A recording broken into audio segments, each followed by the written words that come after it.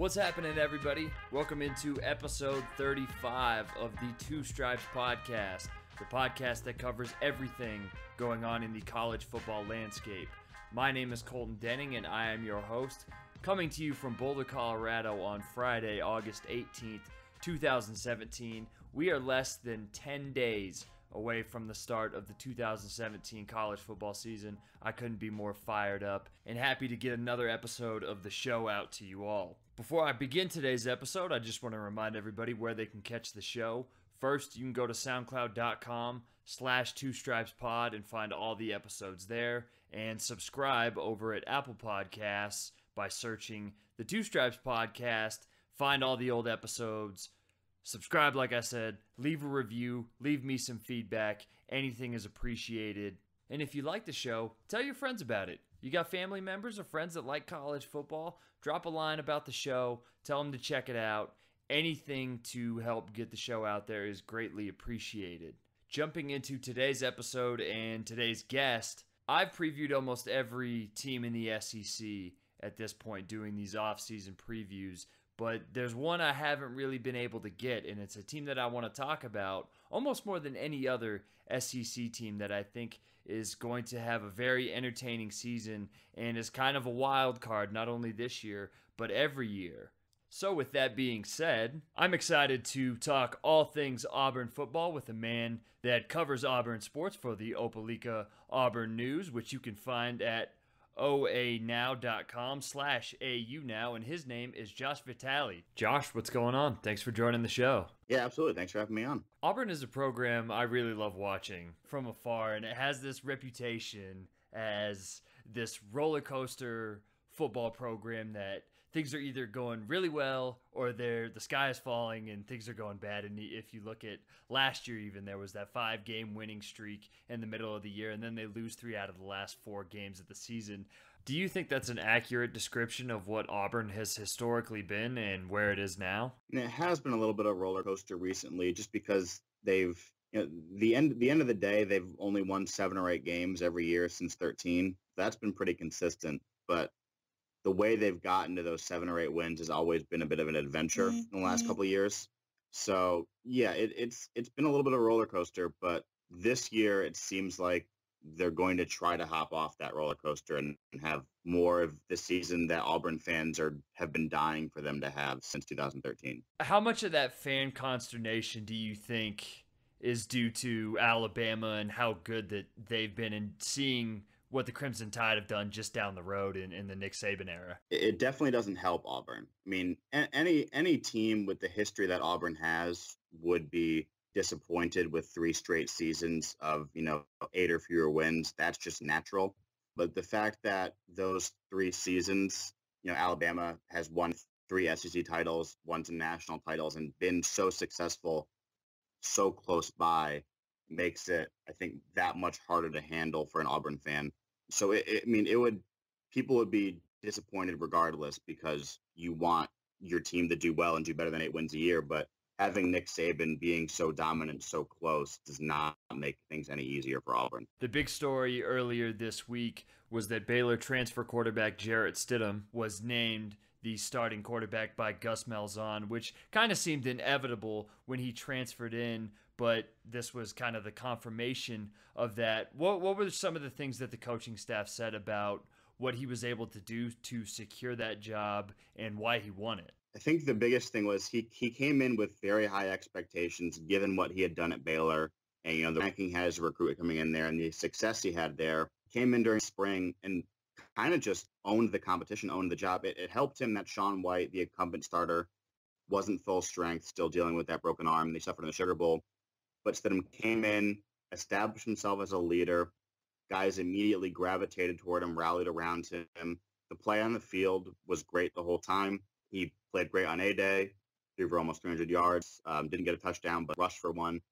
And then they came back in the fall, and it was the same thing. There was no drop-off. There was no kind of fall away from what he did in the spring, he was as good, if not better, than what he was in the spring. And they just they saw continued progression, you know, continued growth as a player, but also the leadership and kind of off the field work that they wanted. It it, it sounds like you know, the way the way Gus Malzahn worded it was that Sean White didn't lose the job, is that Jarrett Stidham came in and just, just took it away from him. Well, he's going to be working with first-year offensive coordinator Chip Lindsey, who has experience at Auburn dating back to 2013, but came from University of Southern Miss and then Arizona State last year. And the talk I think from the outside, and at least what I've read, has been about making the offense more balanced and, and wanting to be more balanced between running a pass. And Auburn has been so slanted towards running the ball with Malzahn. But everybody says that every offensive coordinator wants to be balanced. But from what you've seen, what what do you think the identity of this offense is going to be, especially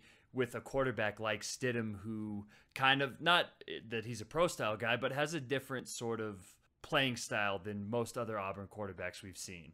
Uh, it's still going to be the Gus Malzahn run principle offense. That's going to be the base of everything that Auburn does. Gus is giving up the play calling duty, giving up some control of the offense to Chip Lindsey, but Gus Malzahn's still the head coach. It's still his team. He got to where he is with that offense. But that being said, it's not going to be a case, I don't think, at least given just what we've seen know, on A Day, given what we've heard from players, from coaches, it's not going to be a case where Auburn's to come out and run it almost 70% of the time like they did last year, like they have done the last four years. They're not going to be 50-50, but they're going to be closer to that number in terms of, you know, the run and the pass. Because um, they know they have the two dominant backs in on Johnson and Kamryn Pettway, but they also know they have a new coordinator with more kind of air raid parts of it his offense, as well as a quarterback in Jarrett Stidham, who they think can really, you know, maximize that part of Auburn's game. So they're going to throw the ball more than they have, but they're still going to lean on that run game. Um, so it's going to be a mix of both, but it's they think it's going to help the offense take the step forward it needs to this season. Yeah, definitely not a bad run game to lean on, like you said. The two top options in Kamryn Pettway, he's a dude that I love. He's he just looks like a throwback guy. He wears the neck roll. He looks like he's Mike Alstott out there when he plays, and then Kerryon Johnson. And then you have a sophomore in Kam Martin who's flashed in limited time as well. And you pair that with an offensive line that brings back a lot of players. It's very experienced, and at least when it comes to the run game, can be pretty dominant up front. So it's it's fair to say that that will still be the focal point of the offense. And even if Stidham ends up being a very good quarterback, that everything's still going to flow through that run game, right? Yeah, they're gonna they're gonna use the run game to set up the pass, but the way the way they figure it and the way the plan is kind of unfolded is if you know the run game is as good as it is, that's going to open things up for the passing game. And there were times last year, especially late in the season, when Sean was hurt, you know, against Georgia, against Alabama, where there was really no reason to respect Auburn's passing game because it wasn't there because they didn't have the quarterback healthy to execute it so teams could really just, you know, pack the box and stop that run. If Jarrett Stidham is healthy and playing up to his capability, that's not an issue. You can't commit eight guys to the run because Auburn will be able to throw it. So yeah, they're gonna the the run game is gonna be a focal point. It always is going to be as long as Gus Malzahn's at Auburn. But if they can add the passing element to it, that's going to take that offense to a level where they I think it can compete in the SEC more than they have in the past few years. And there's definitely the talent out wide that maybe hasn't shown itself to its full potential yet because you look out wide at receiver and they have talented players like Nate Craig Myers, who was a touted recruit, Darius Slayton. How have the coaches kind of assessed their growth this offseason as players and as we get closer to the season what do you expect out of them and who do you think is going to step up out of that receiver group uh, yeah that, that group's coming along it's not really proven on the field. That's kind of the biggest question mark around it. When you look at the guys coming back, Darius Slayton is the leading returning receiver. He had less than 300 yards last year. They don't even have a senior in the group. The oldest guy is Ryan Davis, who's a junior slot guy. So it's young, it's unproven, but the general feeling around the mm-hmm. program from coaches, from players, is that there's a ton of talent in that group. They're still looking to see if they'll have that guy you know, step up and be a number one receiver. Auburn would like to see that guy step up. Not sure who it would be. It could be Nate Craig Myers, who had a huge game uh, in the spring game. Darius Slayton's a guy that a lot of people really respect there. He's only a redshirt sophomore, but people have seen him step up as kind of a, a leader of that group.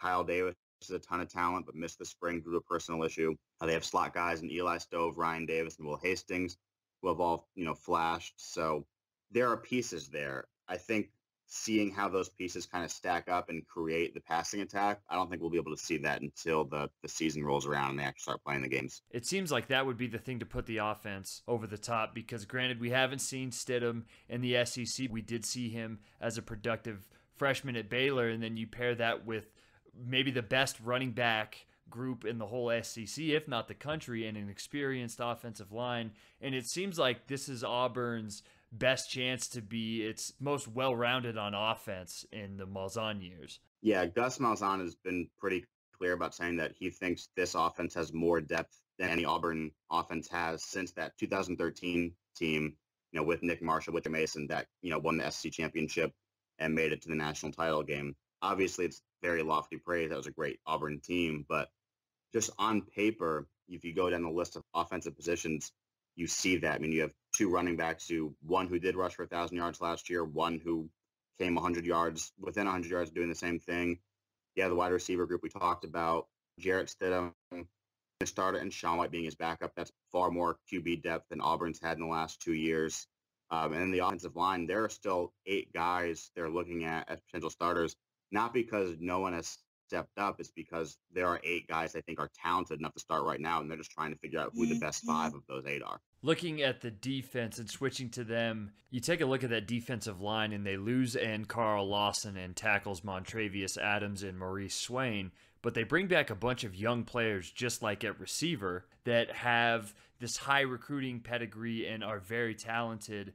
How have they looked during the offseason and in fall practice so far? And is the most important thing for this defense going to be whether those players can step up into that role or not? The, the defense looks very good. And, you know, I think the common thing you hear from people, you know, outside the program is that the idea of a drop off because they lost to Carl Lawson and because they lost to Montravius Adams, who were two dominant forces on that defensive line. But being around Auburn's team and talking to players, talking to defensive coordinator Kevin Steele, they don't believe any sort of drop off is coming. Uh, they believe they have more than enough pieces to replace what they lost in Carl Lawson and Montravius Adams. Uh, they have Jeff Holland, Paul James III, Big Cat Bryant at Buck, at defensive at um, the defensive tackle. They have Derrick Brown and Andrew Williams, who are two younger guys who they're very high on. And then you look behind them, the secondary returns pretty much everybody. Uh, the linebacking core returns absolutely everybody, plus adds a few big freshman recruits the defense, talent wise, might even be deeper than it was last year during that kind of breakout season. So they don't they don't feel like there's going to be any sort of drop off coming with the defense. Looking at those linebackers, the top three guys in Darrell Williams, Deshaun Davis, and Trey Williams are all back, like you mentioned. Do you think that the strength of this defense is going to be them and their ability to kind of captain that defense, for lack of a better term? Oh, 100%. And it's kind of funny because you look back to last year at this time we honestly had no idea who Auburn was even going to play at linebacker.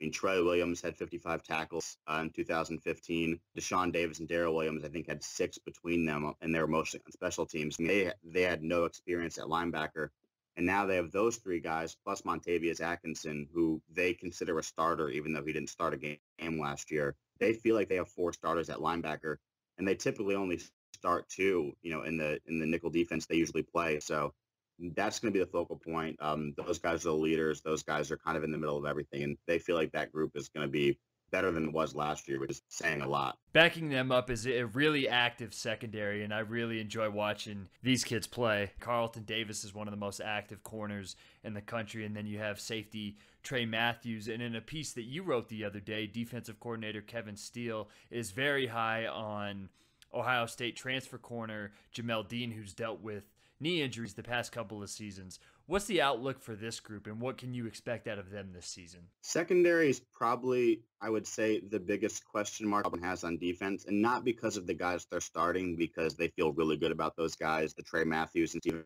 Roberts at safety, Carlton Davis and Javaris Davis probably at cornerback.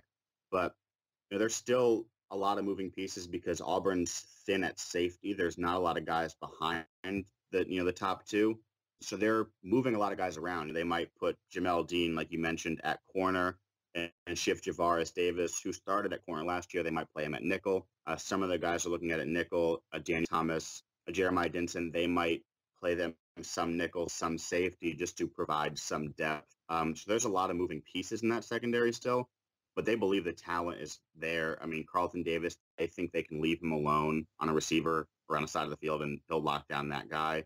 Uh, Javaris Davis was freshman All SEC last year. Uh, Jamel Dean, they think, can be a huge talent if he can stay healthy and play, which as of right now, he's on track to be. They get Jeremiah Dinson back, who missed all last season with a knee injury. Daniel Thomas flashed as a freshman last year at the end of the season, picking off Jalen Hurts twice in the Iron Bowl. And there's a lot of pieces back there. Uh, it's just a matter of getting them in the spots where they'll be more most successful when the season starts. Looking at the schedule, the big matchup, at least early on, is that week two showdown against Clemson in Memorial Stadium on the road. And we saw last year that Auburn was able to defend them very well. Do you think that, because at least from my perspective, no matter what happens in that game, whether Auburn wins or Auburn loses, things are probably going to get blown out of proportion. Either it's Auburn wins and they're a legitimate national title contender, or Auburn loses, depending on what how it happens. And oh, it's same old Auburn. They're going to lose five games. Do you think that maybe that game's probably going to get a little bit overrated in terms of its importance and how good this Auburn team is by the end of the year? You could say overrated, but I don't think you can overrate game like that that early in the season because you know even if Auburn's going to beat Georgia Southern week one, they're going to beat Mercer week three. But being two and one with that loss to Clemson, that's not you know that's going to set this team back from where it wants to go. You know, if it wants to get the SEC championship, game against Clemson is not going to matter. I mean, in the scheme of things, because it's going to be SEC standings, obviously. But you know, that game is huge for momentum. It's huge for what happened last year. Um, given the way they almost they they played awful and almost beat the defending national runner-up. They lost by five points in the end. I think that's a huge game for Auburn. You know, in the grand scheme of things, it might not matter by the end of the year, but for what Auburn wants to do, they really need to win that game. Do you think that, and this is something we talked about earlier, you look at the five game win streak last season and then closing out the season with three losses in the last four games. Is consistency something that's being preached about this team? Is whether they're up or whether they're down, just trying to keep it more level than it has been in the past? It's not really consistency. You look at those wins and losses last year, the entire thing was quarterback and they won six straight games. Sean White was the quarterback. He played great through that whole winning streak. And then he got hurt, and the backups they had behind him were not capable of playing up to level and keeping the offense going at the level that it had been, and it cost them. It cost them huge. I mean, they they were a win at Georgia away from playing Alabama, basically in a de facto SEC West title game, and you know then you lose Sean White. They lose to Georgia. The Alabama game means nothing, and they get blown out so really it's quarterback health. And that's where Malzahn's depth comments ring the most true. Um, you look at what they have. I mean, Sean White played great for this offense last year, and he's going to be the backup this year. And they think Jarrett Stidham's going to be even better than Sean White was last year. So if Stidham's healthy, they're going to have that. And even if Stidham gets hurt, they feel comfortable saying, "Hey, Sean White was the is the backup. We feel comfortable having him run our offense." So the, the biggest thing for Auburn is not consistency. They were fairly consistent uh, toward the end of last year.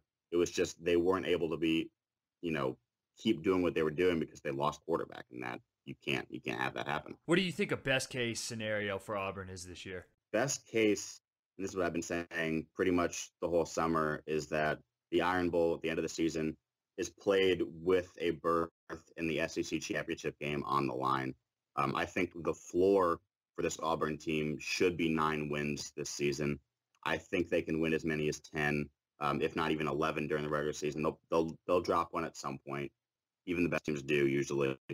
This is a team that feels like it has, you know, a chance to compete for a, a conference championship and maybe a berth in the playoff. And on paper, that's true. Now, obviously, on paper means nothing in a couple months. If there's injuries or they have a bad loss, everything will change. But on paper, this team feels like it can do that. And I think I think nine wins and at least a shot in that Iron Bowl to get to Atlanta. I think should be the floor. Yeah, you said the the nine wins is the floor, so you think that that at the very least is a fair expectation of this team. Anything below that, are we talking Gus Malzahn out at Auburn, or, or what? What do you think will be the case in that scenario? I think if Auburn loses, if Auburn wins eight or fewer games, Gus Malzahn's seat's going to heat up. I'm not willing to speculate right now whether that means he's out of a job or not, but the conversation would definitely be started because, you know, last year it's easy to kind of on the quarterback that was bad. Sean White got hurt. That stuff kind of happens. You can't blame a head coach for injuries, but you can blame a head coach for depth if there's not enough quarterbacks to be able to run the offense. This year, right now, there are enough quarterbacks. There are enough pieces for this team to get over that win threshold that it hasn't since 2013. So they're going to have to make this season kind of pan out the way it, it should look like it's able to on paper. Or if not, the, the questions will definitely start you coming in hot. Well, regardless of what happens, Auburn is always entertaining, whether it's win or lose. And if you want to follow along with any of Josh Vitale's work, you can do so by following him on Twitter at AUblog. Following all of his work also at the Opelika Auburn News by going to oanow.com slash AU now. Josh, thanks for joining the show and talking Auburn. I appreciate it. Yeah, man. Thanks for having me on. Big time thank you to Josh once again for joining the show. Auburn's going to be an extremely entertaining team to follow this season, and they have a legitimate shot. I know we previewed Arkansas last week and said that they could finish second in the SEC West. I think LSU could too, but Auburn, their team, if for lack of a better term, if they have their shit together, they should be up there with Alabama competing for that spot late in the season. I like I've said before, I still don't know if anybody, including Auburn, has the talent to beat Alabama, not only in the SEC West, but in the SEC in general. But if there's a team that can, I think that it's Auburn. And now that they have a quarterback, now that the offense should hopefully be a little more settled, they can get some good wide receiver play, have some guys stretch the field. I think that this is going to be the most complete offense that Auburn has had in the Gus Malzahn era, or at least it should be given the talent on the field. So excited to watch them offensively. And then they have enough players on the defensive end and a lot of young, highly touted guys that maybe haven't made a huge impact yet, but have that big time pedigree that they should definitely be able to field a strong defense, just like they were last year under defensive coordinator Kevin Steele. So excited to watch Auburn this year. That's probably a good place to wrap up today's show. Want to thank Josh Vitale again for joining. Make sure to catch all of his work at the Opelika Auburn News. Follow him on Twitter at AUblog and drop him a line. Keep up with everything going on in Auburn football by following him this season. Also, want to thank you, the listener, for taking time to check out the podcast. Be sure to subscribe. Go to Apple Podcasts, search the Two Stripes Podcast. Find all the old shows there subscribe, leave a review, tell your friends about it. If you like college football, if they like college football, spread word about the show. Any help putting the show out there is greatly appreciated and helps more than you think. Also, go to soundcloud.com slash two stripes pod. You can listen on your desktop computer, your laptop. You can download the SoundCloud app on your phone and listen mobily that way. There's tons of ways you can listen to the show. You can go to my YouTube channel if you search Colton Denning. All the old shows are uploaded to my YouTube channel, so check that out there as well if you're looking for different avenues to listen to the podcast. And then also, you can follow me on Twitter or send me a tweet about what you think about the show at Dubsco. That's D U B S C O. You can catch me on Twitter there. Until next time, though, I want to thank you all for listening to the show. My name is Colton Denning and this is the Two Stripes Podcast.